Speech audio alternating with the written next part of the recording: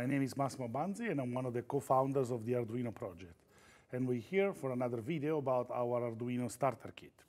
Today we're going to look at the, the new project called the touch sensor lamp. This is a simple circuit where we're going to build a sensor that is able to detect when a human being is in touching the circuit. You can see that if I touch this wire, the LED turns on. For this tutorial, we're going to introduce uh, a new concept from the Arduino uh, platform, external libraries.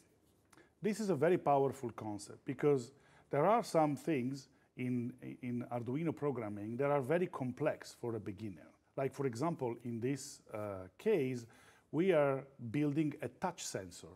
The touch sensor uses a fairly complex uh, process to, uh, for a beginner, and it would be quite complex for a beginner to write the code completely by themselves. So somebody with a lot of uh, skills in Arduino programming developed a library that is able to perform this sensing function. On the Arduino website, you're going to find all the instructions you need in order to install a new library into the Arduino development environment. But let's have a look at this circuit. Here, we have an LED connected to pin number 12 of the Arduino. And then we have this strange circuit where we have a resistor connected between pin 2 and 4 of our Arduino. And then there's a wire connected to pin number 2. If I touch the wire with my finger, uh, the LED turns on. So this is due to the capacitive sensor implemented by the library that we are going to see in a few seconds.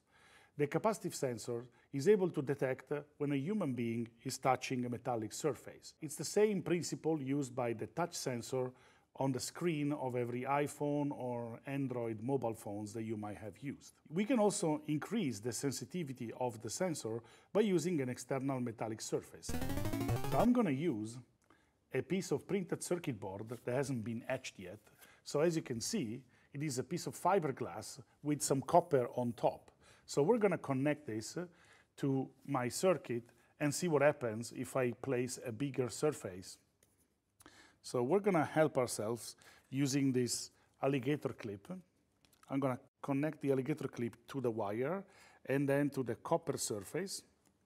So now when I, my hand touches the surface, I, it turns on and off. Actually, what happens is that I don't even actually have to touch the surface, it starts to uh, sense my hand even when the hand is just closed. Actually, if we flip the board around, here we have an insulating surface made of fiberglass, and still, if I place my full hand on it, it can still detect my hand. So the capacitive sensor is very useful because I can actually detect the touch of a person even through certain insulating materials. Now let's have a look at the code. Here you can see something new already at the beginning of the code. We are using this statement called include. You have this pound sign followed by include and capsense.h. So this statement tells Arduino to look for a library called capsense and include that into our program.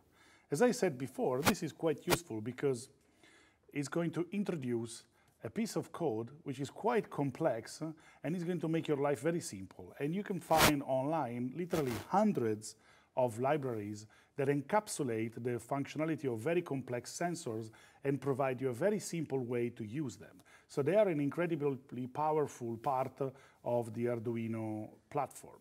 So a, little further down in the code, you can see that we are creating an object of type capsense and this object is called cap sensor, and we are specifying that pin 4 and 2 are the two pins connected to the resistor, and pin number 2 is actually the one that goes to the sensor.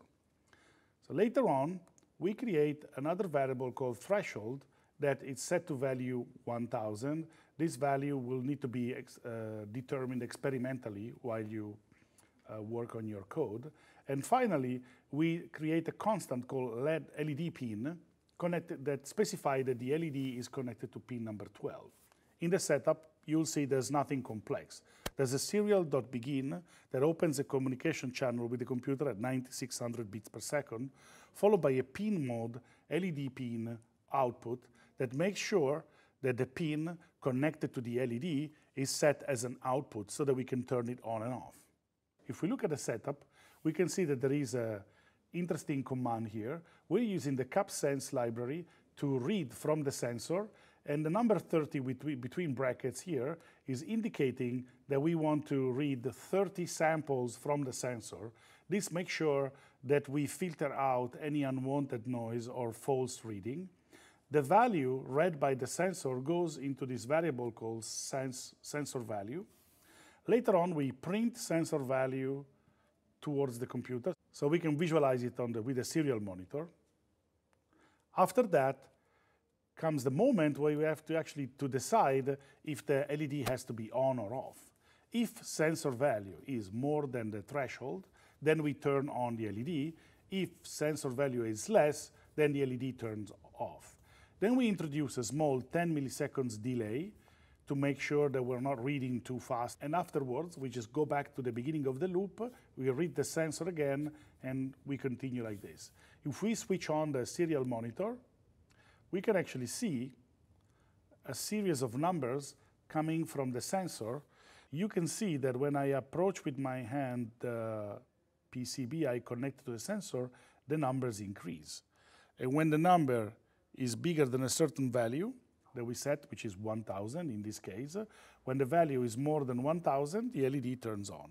So this sensor can also be used as a proximity sensor if properly configured.